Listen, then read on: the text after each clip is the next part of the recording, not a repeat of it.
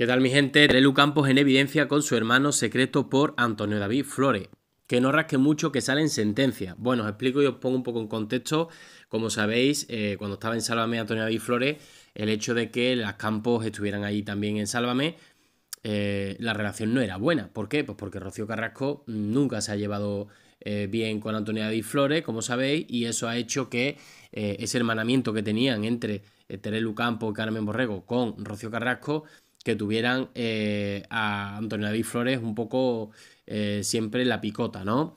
Tanto es así que en una ocasión discutieron, y os leo la otra TV para que veáis eh, lo que ha sucedido. Si echamos la vista atrás recordamos cómo en un enfrentamiento en Salame Antonio David Flores sacó a la luz la existencia de un hermano secreto de Terelu y Carmen Borrego, podemos recordar lo que esta información supuso para las hermanas Campos y el tremendo disgusto para Terelu, ya que esta persona era totalmente anónima y así querría permanecer, ¿vale?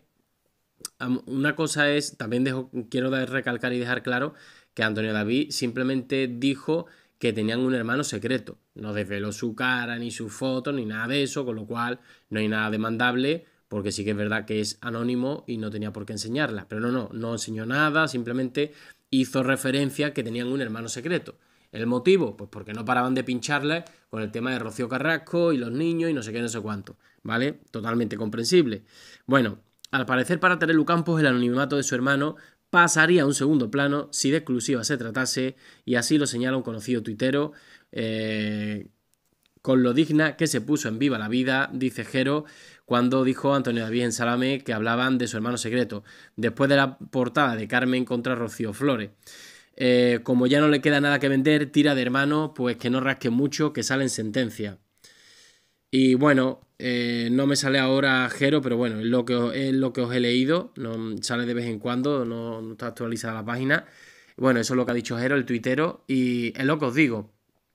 Él es anónimo, pero ahora ella sale en portada de la revista Lectura vendiendo al hermano, hablando del hermano secreto. Bueno, pues entonces Antonio David al final em, no estaba haciendo las cosas tan mal, ¿no? Porque al final te ha interesado hablar de tu hermano.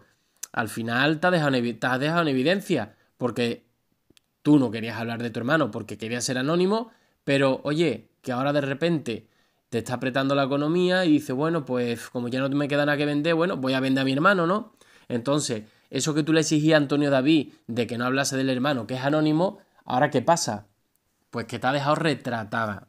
Trelu, te ha dejado Antonio David retratada. Así que nada, amigo, dicho esto, me gustaría que dejase vuestro comentario. Como ya sabéis, nos vemos en el siguiente vídeo. Un saludo.